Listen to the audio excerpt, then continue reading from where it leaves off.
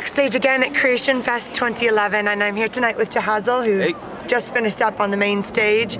And I just was so impressed by the scripture and the, the, the content, really, in your music. And I'd love to hear just your heartbeat behind Mm. that. Yeah, I mean, you know, the Bible says that faith comes by hearing the word of God.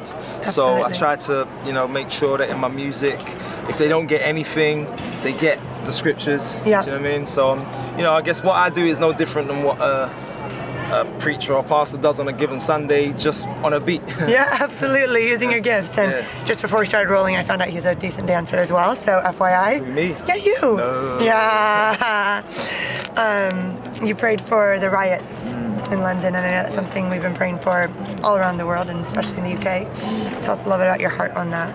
Yeah, I mean, yeah, I've, I, I'd recently moved up to North London, very near to where the first riots kicked off in Tottenham.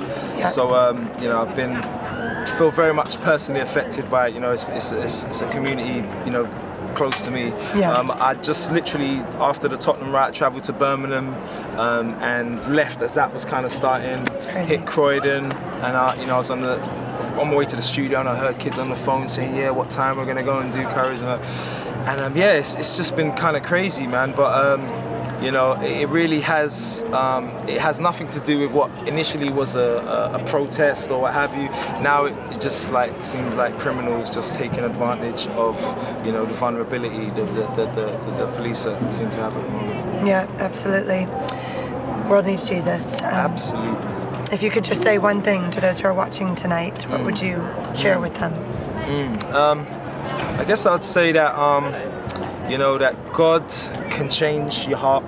Um, when I first gave my life to the Lord, I wasn't really sure that anything would have happened. Yeah. Um, you know, it was kind of a, a, just a, a last-ditch attempt at something, really. Yeah. But um, to know that, you know, when I invited him to my heart, he actually did come in and actually change my desires is, is a miracle. And just for you to know that he can do it for you too. Absolutely.